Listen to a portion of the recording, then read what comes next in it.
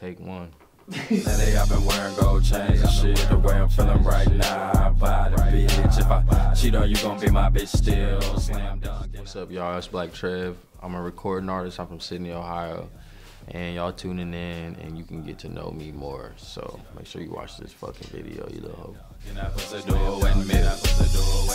Okay, Nina want folk play. She a It was like, bro, where it all started, I was listening. Like, I used to listen to Lil Wayne, and I didn't want to listen to nobody else.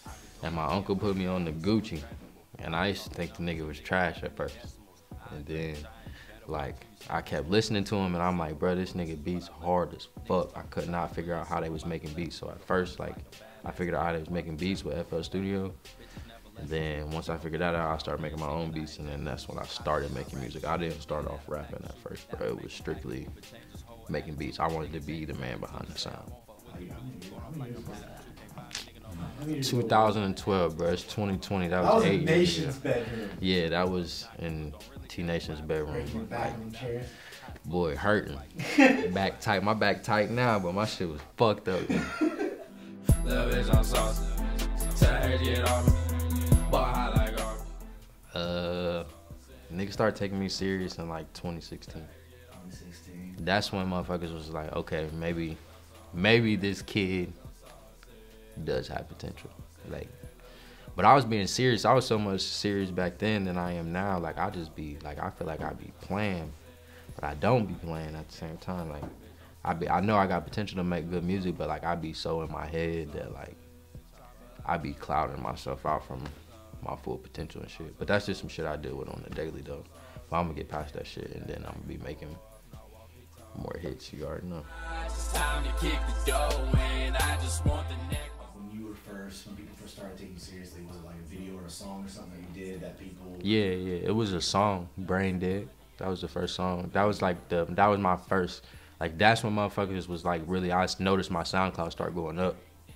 I'm talking about like back in SoundCloud days, like when this shit was popping too, like like five six years ago when SoundCloud was popping.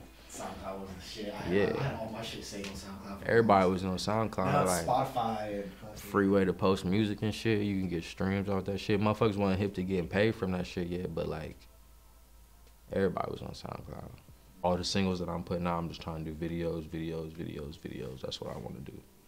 It's just push out the visual content. Like I feel like that's the new era and that's the thing that's going on now. That's getting people heard and saw.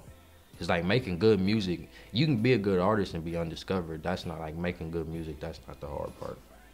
Like motherfuckers been doing that for years, just making good music. It's just getting people to hear the good music.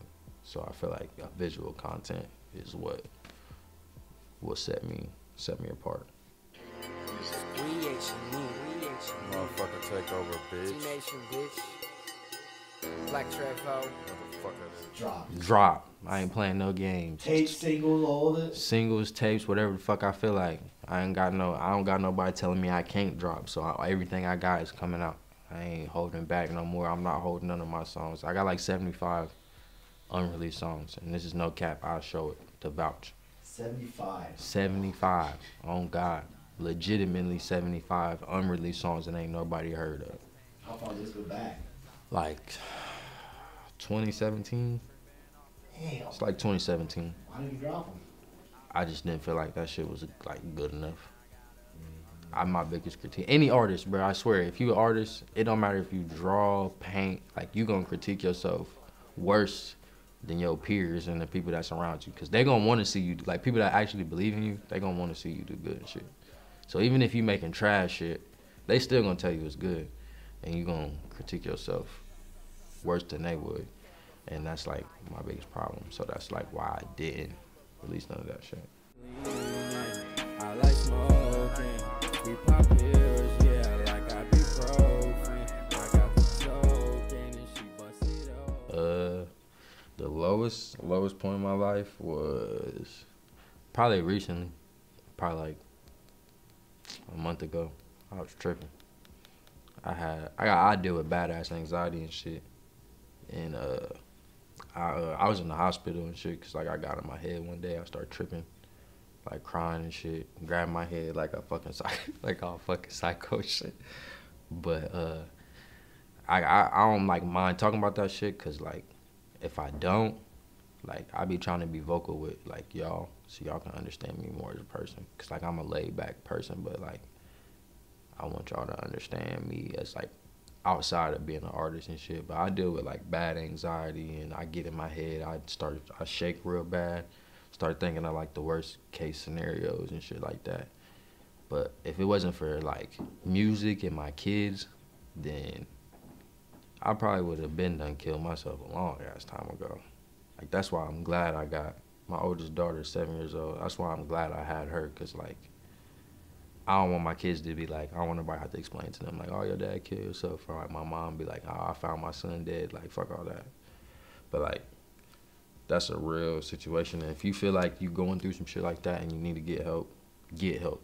Like don't sit around and wait because you getting inside of this thing right here, bro you will hurt you, you will harm yourself, bro. That's a it's a powerful weapon, but you can use it to like succeed in life.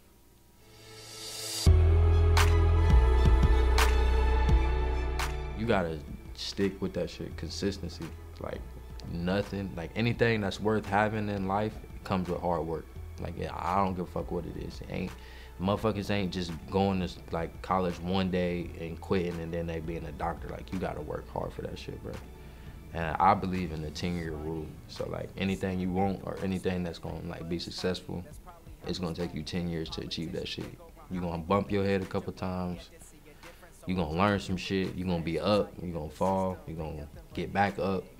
You're gonna be broke. You ain't gonna be broke. Like it's gonna take it's gonna take some time for you to achieve what the fuck you want you ain't just finna jump into that shit. And some people are lucky enough to like be like an overnight sensation and shit. But like if you really want this shit, you gotta look past that shit and, and know in your heart, like deep down, that this is what you was made for. You know what's in here, double back so I can take your soul. We can shoot it out, stand up, go toe to toe. And I don't really give a fuck the type of shit I'm on. They took shit from out my hands. Y'all got the story wrong.